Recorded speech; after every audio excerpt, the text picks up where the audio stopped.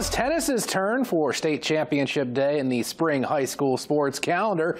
So let's go to Portland. See boys championship Waynflete, Orono. Oh. Number three singles, the Flyers. Matt Adey puts away the Red Riots Nick Agrawal at the net. Number two doubles, Waynflete's Charlie DiNapoli and Jeff Adey team up for a straight set win. It's Waynflete's 15th straight state title with a sweep over Orono. See girls title, Maranacook, Washington Academy. Grace Tweedy and Ava Candage won number one doubles for the Black Bears.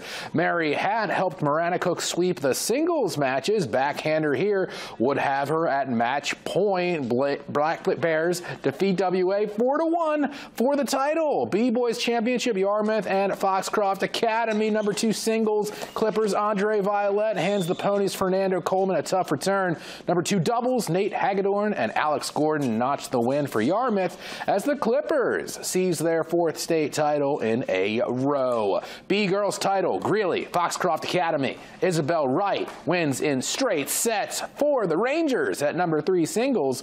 Over at number one doubles, Amara Quimby and Becca Carlson team up to help seal the state championship for Greely.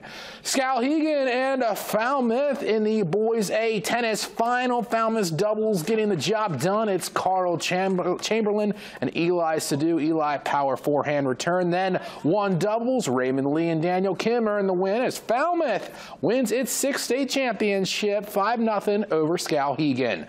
Girls A championship. Brunswick and Falmouth. Both number one seeds. Brunswick two doubles. Izzy Lightsell and Molly Teff winner there. Number one doubles. Hazel Goodwin and Beatrice Elmore. Another great put away. It came down to number one singles, and Coco Meserve, the singles champ, would win it for Brunswick 3 to 2.